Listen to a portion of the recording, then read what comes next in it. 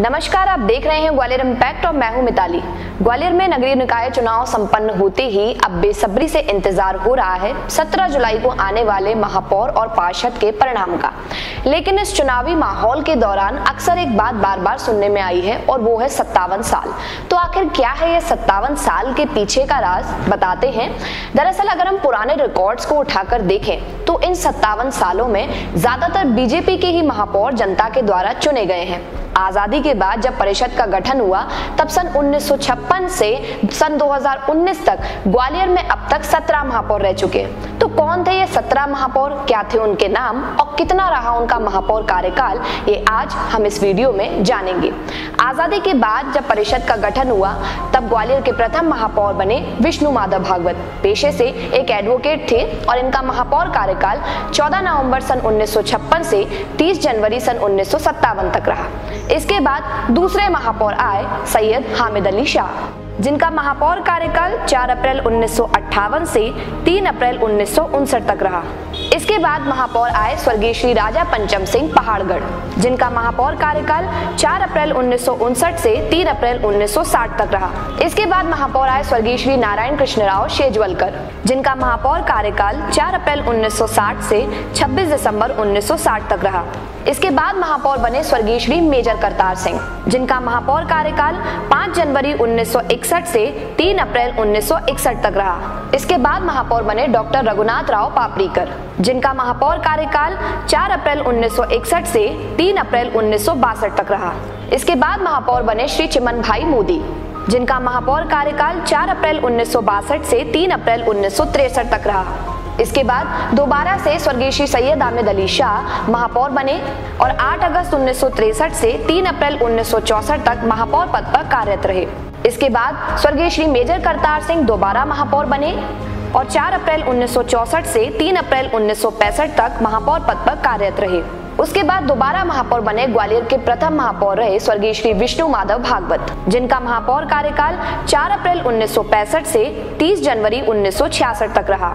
इसके बाद अगले महापौर बने यानी दोबारा महापौर बने स्वर्गीय श्री नारायण कृष्ण राव शेजवलकर।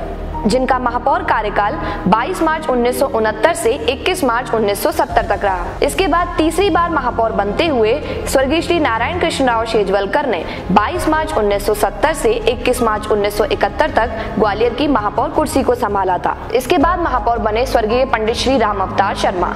जिनका महापौर कार्यकाल 22 मार्च 1971 से 21 मार्च उन्नीस सौ बहत्तर तक रहा। इसके बाद महापौर बने श्री भारत भूषण भार्गव, जिनका महापौर कार्यकाल 22 मार्च उन्नीस से 21 मार्च 1973 तक रहा। इसके बाद महापौर बने श्री माधव शंकर इंदिरापुरकर, जिनका महापौर कार्यकाल 22 मार्च 1973 से 21 सितंबर 1973 तक रहा। दोबारा महापौर बनते हुए माधव शंकर इंदिरापुरकर 5 अगस्त उन्नीस सौ तिरासी से 4 अगस्त उन्नीस सौ चौरासी तक महापौर पद पर कार्यरत रहे।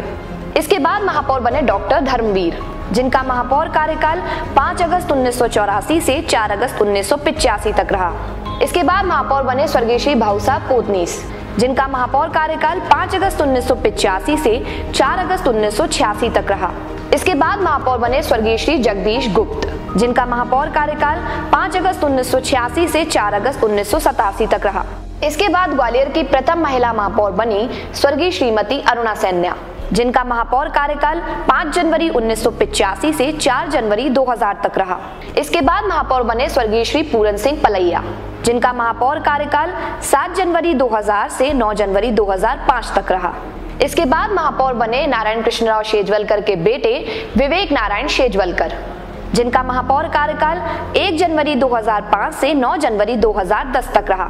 इसके बाद ग्वालियर की दूसरी महिला महापौर बनी श्रीमती समीक्षा गुप्ता, जिनका महापौर कार्यकाल 10 जनवरी 2010 से 9 जनवरी 2015 तक रहा।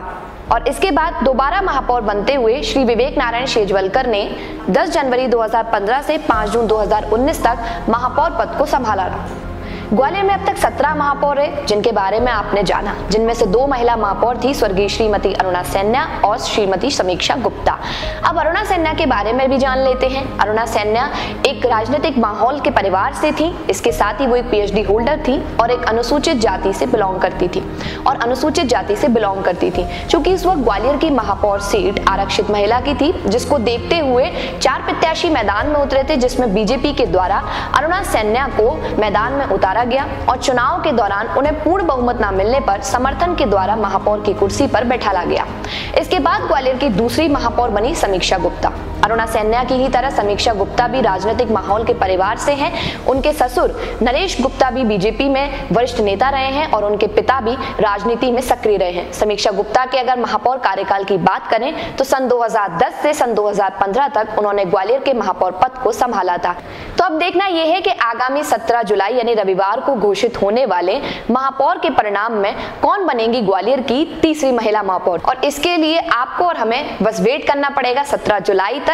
जिसके बाद ये बात सुनिश्चित हो पाएगी। महापौर से जुड़ा हमने एक और वीडियो बनाया है, जिसमें हमने महापौर से जुड़ी अन्य जानकारी और उनके अधिकार और उनके पावर के बारे में बताया है। आप वो वीडियो इस वीडियो के डिस्क्रिप्शन बॉक्स में जाकर वहाँ दी गई लिंक पर क्लिक करके देख सकते हैं। तो इसी तरह के और इन्फॉर्मेटिव कंटेंट के लिए जुड़े रहिए ग्वालियर इम्पैक्ट के साथ। मैं हूँ मिताली। नमस्कार।